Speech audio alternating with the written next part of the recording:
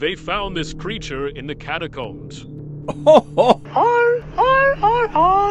If you've been on the internet for a while, this is probably something that terrified you the first time you've watched it. This video that I got tagged in claims that these guys sent a remote-controlled robot down into the catacombs. It then claims that upon entering the catacombs, it ran into this creature right here that has shiny eyes. Now here's the deal. I'm going to save you some time and tell you right now that this video is not real at all.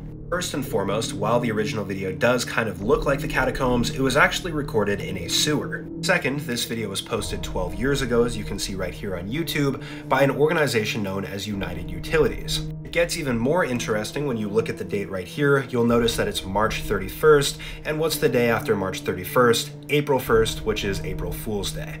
Now, with that being said, when it comes to the catacombs, it is possible for people to live in there, and I would not recommend going down to explore it, but that original video was not taken from there.